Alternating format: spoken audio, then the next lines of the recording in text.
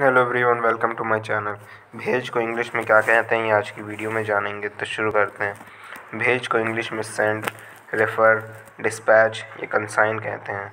Send refer dispatch या consign एक example से समझते हैं, इसे एग्जांपल सेंडिंग मी यहाँ सेंड का मतलब भेज, उदाहरण, मुझे भेज रहा है।